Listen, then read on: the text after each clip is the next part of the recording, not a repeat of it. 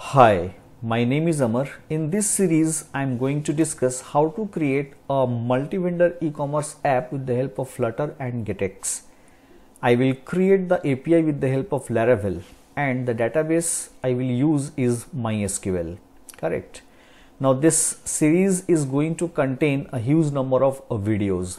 In this particular video, I will discuss about the project structure of the Flutter app which I have created let me open the VS Code. Here I have already created the project. Inside this project, the first folder is images.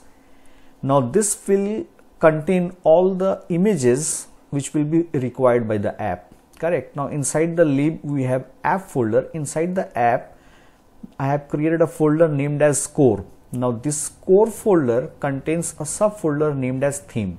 This theme folder will contain the theme setting of our app now inside the utils folder which is also inside core, inside the utils folder I will create different files. These files will contain classes and methods which will be required throughout the app, correct? Now after that we have another subfolder inside core which is values. This values folder contains app color and app string. This app color will contain all the colors which will be required by the app and the app string will contain all the messages correct. This is all about the core. Now inside the app folder there is another subfolder which is data. Inside the data folder i have created a subfolder model. This model folder will contain all the models which will be required by the app. Now let me tell you that here i will use the dio package to connect with the server. Correct.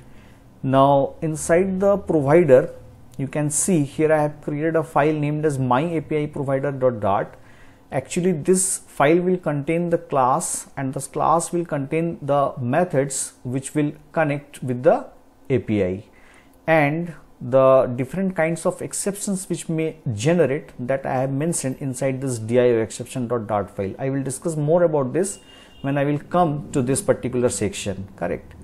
After that, I have created a subfolder named as repository. This repository. Actually here I will create a different different repositories. Like for cart I will create a cart repository.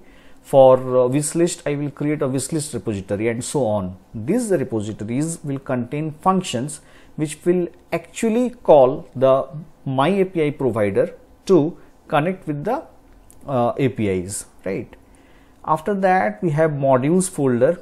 You can see inside this modules folder we will have different different modules. Like cart module, wishlist module, product module, all the modules I will create inside the modules folder, correct? After that we have routes. These routes have app pages and app routes. This app route will contain all the routes of the app and the app pages will contain the corresponding views or pages which will be called for the routes which we have mentioned in the app routes folder, right? Now in this particular let me uh, minimize this.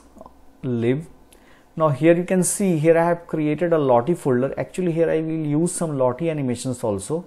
So all the Lottie animations I will create inside or I will keep inside the Lottie folder.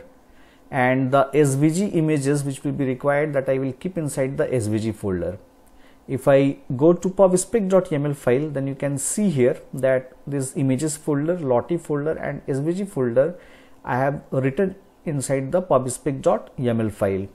And you can see here I have used different different plugins. This why I will discuss more about this as I will proceed in the series. Correct? Now here inside the lib folder inside app you can see we have another folder global widgets. This global widgets folder will contain all the common widgets which will be required by the app.